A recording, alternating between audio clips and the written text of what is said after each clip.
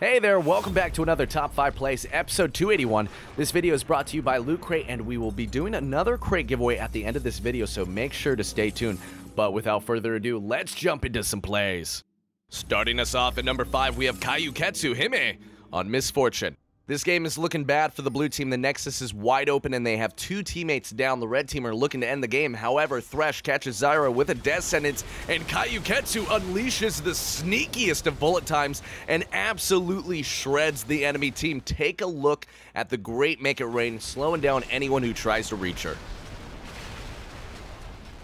Coming in at number 4, we have Demonic Pro on Twitch. Now, we see a lot of Twitch plays on the top 5 where the enemy team is distracted and Twitch comes out of nowhere and deletes them all. However, Demonic is a man and a rat, so a rat man.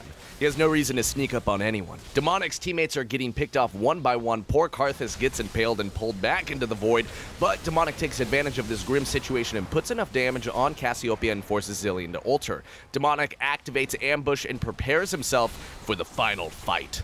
The red team get together to take down the turret, and right when it goes down, Demonic strikes, he flashes Dredge Line, and he completely obliterates the red team, a well-earned penta from the Ratman.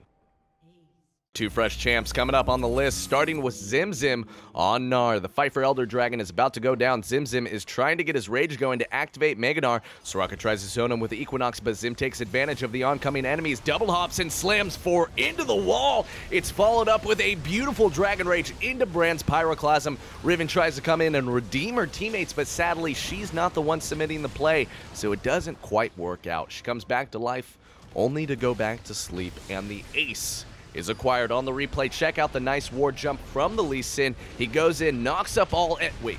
Hey, Warwick didn't get knocked up. Game requires a redo. At number two, we have TheXodus playing the Moon Mistress, Diana.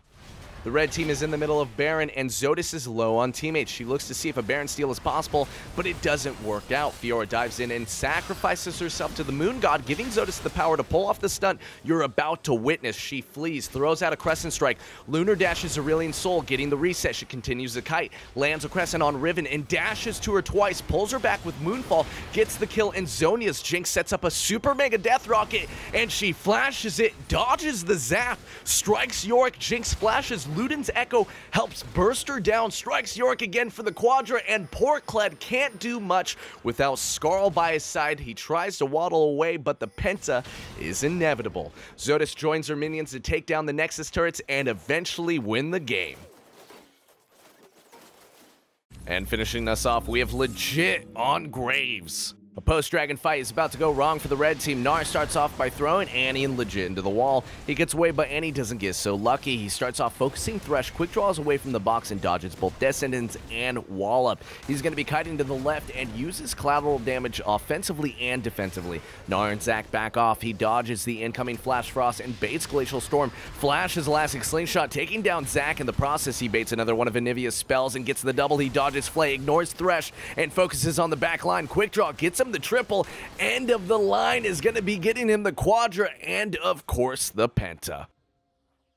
And for our bonus play, we have Captain Barbossa on Gangplank. Now, this has to be one of the most unique ways anyone has ever escaped a situation. Captain Barbossa uses taunt, and it's super effective. He activates Ghostblade, Nautilus flashes, and its dredge line is blocked by a Krug. How did that happen? Well, without saying too much, let's just say the captain had a little help from a giant Minotaur with the ability to headbutt things.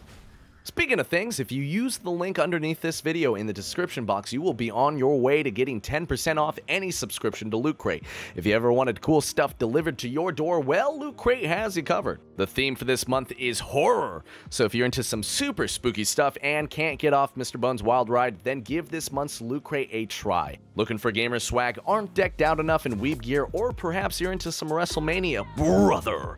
Loot Crate has it covered whatever your needs. If you're on the fence on whether or not to use Loot Loot Crate, grab yourself a cheaper box, some starting at only 10 bucks. And as a reminder, I will be at TwitchCon doing a signing alongside Ankle Spankin and Rad Puppy and some other cool cats, so hit us up on Twitter for more details. And that's to do it for this episode. Thank you again for stopping by, and we'll see you next time.